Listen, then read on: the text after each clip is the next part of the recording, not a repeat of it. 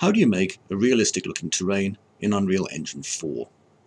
How do you take a terrain in Unreal Engine 4 and apply materials to it without having to paint them all on? And can I has Biscuit?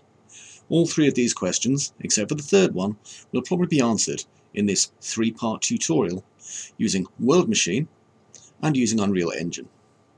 Parts 1 and 2 of the set cover mostly World Machine, whilst Part 3 is almost entirely, if not all, Unreal Engine 4.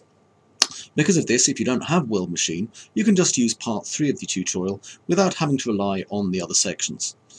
Meanwhile, if you do have Parts 1 and 2, obviously, then you'll be able to do all three parts without too much of a problem at all as well.